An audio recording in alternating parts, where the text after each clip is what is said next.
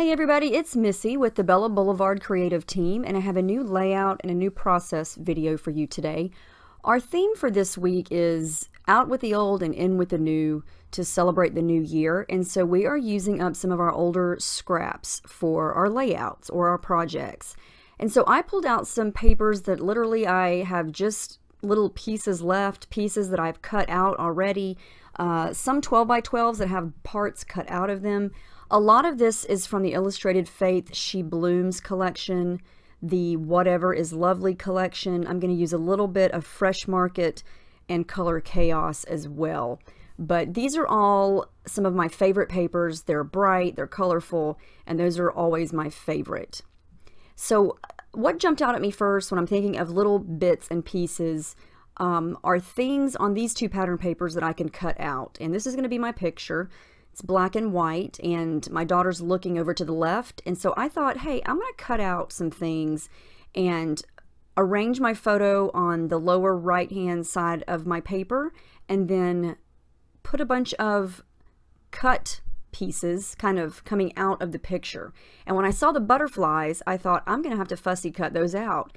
And then I saw this paper with the words and I thought there's my title. So I fussy cut Lovely from that beautiful aqua turquoise and white script paper.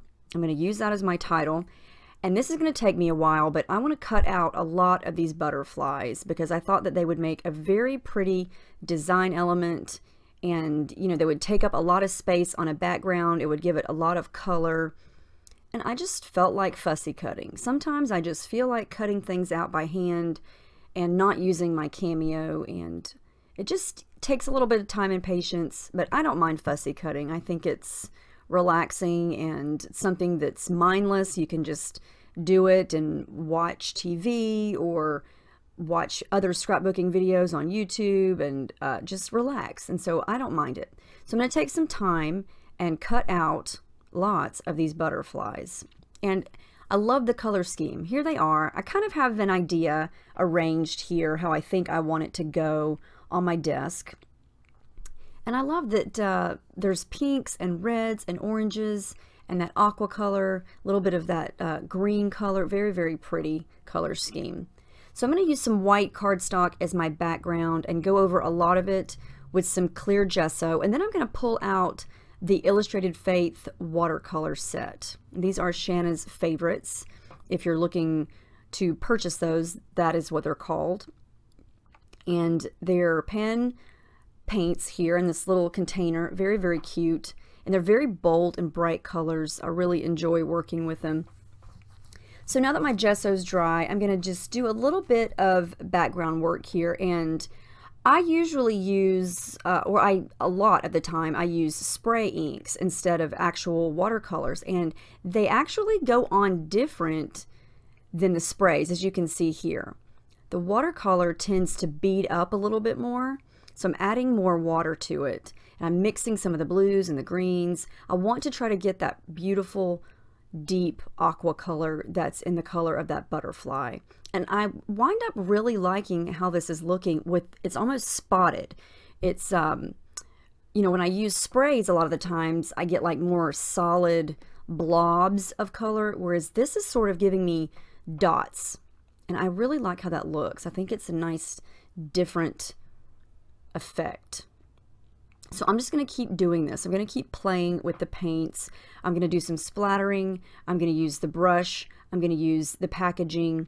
And I want this to be sort of just artsy and messy because I'm going to put all those butterflies back on top of it. And I just want to create the idea of these beautiful colors in the background sort of popping around the butterflies and around where the picture is going to go. So I'm going to pull in some pink and just do the same thing and just dab it up. And then when I use a napkin to kind of dry it, it lightens it up. Because the, the colors in the butterflies are so bold, I don't want the background to overpower that. So I kind of want the background to be a little bit lighter.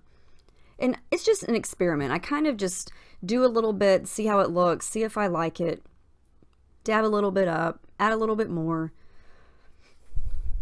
Every time I make a background like this, it's it's almost always an experiment. You know, I never know if it's if it's really going to turn out like I imagine it. And so I just keep working at it and a lot of this gets covered up with the picture and the butterflies. And so you have to keep that in mind when you're making a, a background like this is it looks totally different when you add everything back on top of it. So it's good to kind of bring it all in like this and see where you're at so far and then remove it all and then continue working because that way you know if you've got too much, you know if you need to add more and you need to, you know, see what color you need to add where, so on and so forth. at least that's how my brain works. So I thought I needed a little more of the orange. wanted to add a little bit more of a darker pink, not too much. I didn't want to go too bold. But I love how these watercolors are reacting with the clear gesso. And I've learned that they react differently with clear gesso versus white gesso.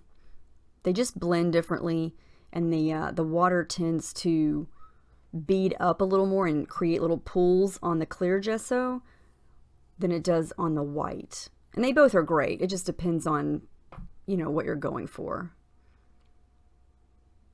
But I'm loving how this is looking. I love that messy, artsy looking background. And you really can't mess this up. It's just getting down the paint and smudging it how you want and then letting it dry and, and not letting some of the wrong colors mix together. So I'm going to add a little bit of tissue paper behind my picture there just to give it a subtle border or a subtle layer around the edges there. And then I'm going to start playing with the title and all of those butterflies again. And I want them just to kind of look like they, like somebody released them from behind the photo and they just started flying in all different directions. And I put her photo over on the right because she's looking to the left and it looks like she is looking at the butterflies. And I always, if someone's looking to the side, I always like to place the photo to where they're looking across the page or down from down or up, whichever direction the person is looking, because it looks like they're looking at something on the page. And I don't tend to use red a lot, but I love how it looks with this color scheme. It's just, it's so bold and so pretty, and I couldn't not use it. And I love how some of the butterflies have red and orange together, and some of them have pink and orange together. It's just a really fun color scheme. So I'm going to add a little dot of glue to each of those and glue them down. And then I thought I want to do a little bit of stitching here. And I want to just take some black stitching thread and just kind of the bodies of all the butterflies. I just want to add a little stitch of the black thread just to kind of give it a little bit of texture and make each butterfly pop a little bit more. And this didn't take very long at all. I just take my uh, floss there and it's six strands and I just kind of un, un what's what's the word I'm looking for here unravel it into three so it's not super thick and then I'm just kind of going from butterfly to butterfly and stitching through the body of each one and it just adds a little pop. Just gives them a little more texture and I know they're not going to come off the page for sure now. So here comes some scraps. These are from Illustrated Faith and Fresh Market. I wanted to kind of pull in some of the colors. That's an actual scrap from, I cut a cloud out and I saved the paper and I'm going to use that. That is definitely qualifies that definitely qualifies as a scrap. But I knew I would use it for something, and I just can't throw this beautiful collection away. I don't care how small the scrap is, it's so pretty. So I want some black, I want some of the blue and some of the pink behind the photo, and I want it to be kind of crooked and, you know, not super straight.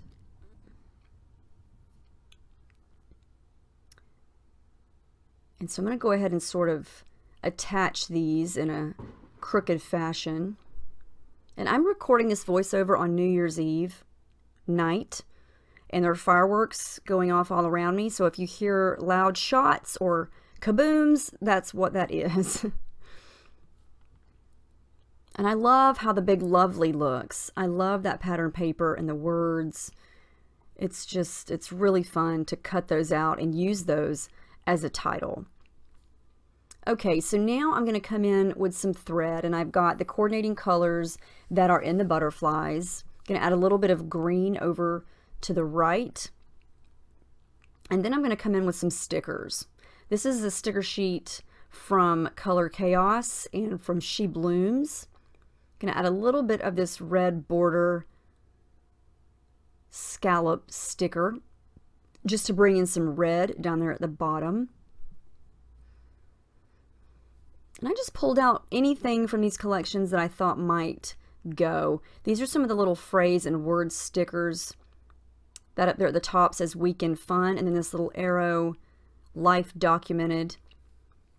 And then these are all of the little, the little bits stickers from different collections. And this one says Summer. That's from Fresh Market, I believe. And all of these are from Color Chaos. And they're just all different colors. I'm just pulling little pieces here and there, stickers with hearts and the colors that I already have on the page. And I'm going to come back in with some thread. I need some pink. So I'm going to add a little bit of pink over here to the left. And then I'm going to make sure that all that is glued down.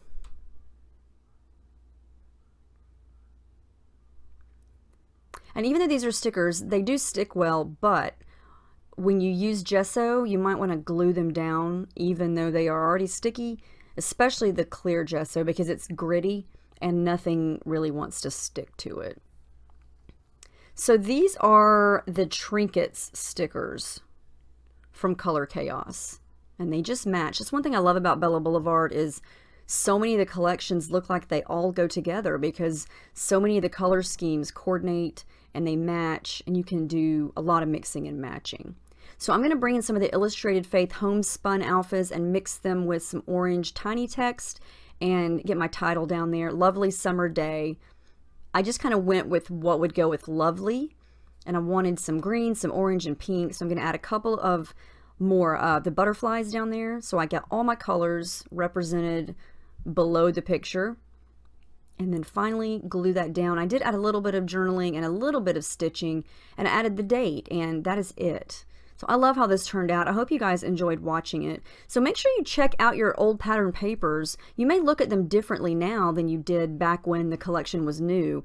And you may see it in a whole different light. Like when I've looked at this butterfly paper many, many times. And today was the first day that it actually jumped out at me and said, hey, Fussy cut these butterflies out. And it has a totally different look. So look at your papers and see what you can come up with. And thank you so much for watching. Let me know if you have any questions, and I will see you guys next time. Thanks for watching.